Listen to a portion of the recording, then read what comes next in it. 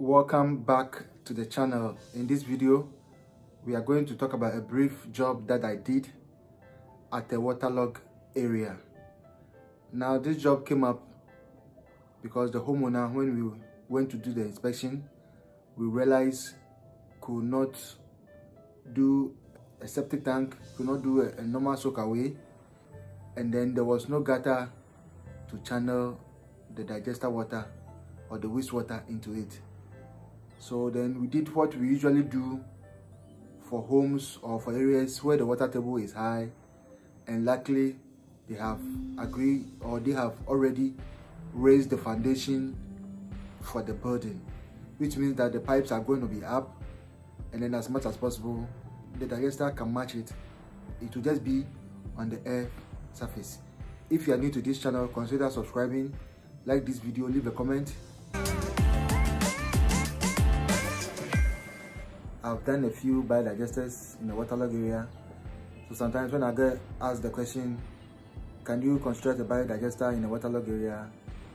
I do say yes, I can. And then I also give some of the conditions for which I will consider constructing a biodigester.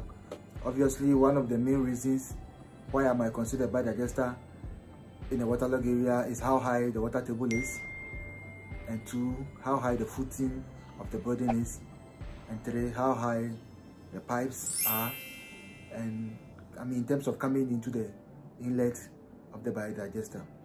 What it means is that if you can always get the inlet at a level and give enough space in the biodigester bed for the filtration and other materials to work to be laid and work and then you still have room for the outlet and then you're halfway done with the job Usually with such jobs in the waterlog area, what you are looking for is the water not returning back into the digester.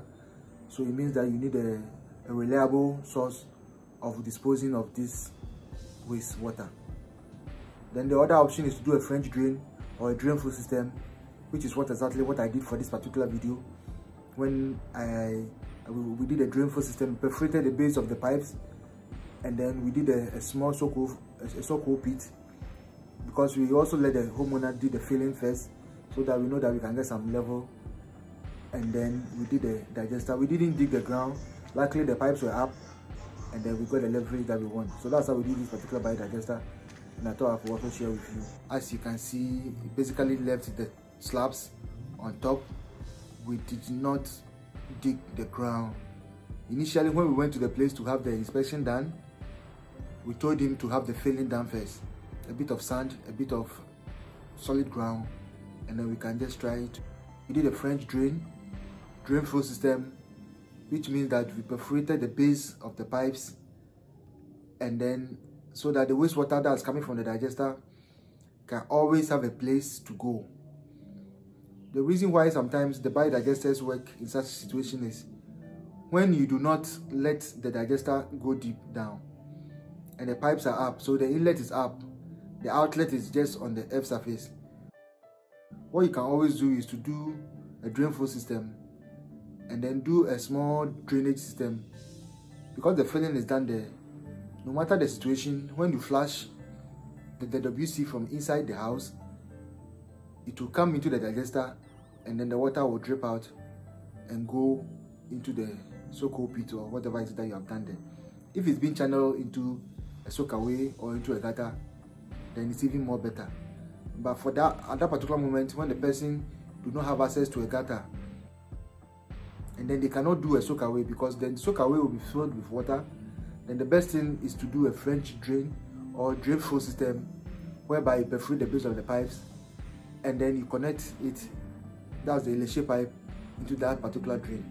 No matter the situation on the ground, if the feeling is that all things being equal, whenever they flush there's always a room in the digester for the inlet for the digester bed as well to have a space to work for the water to flow into the soak hole or the soak pit.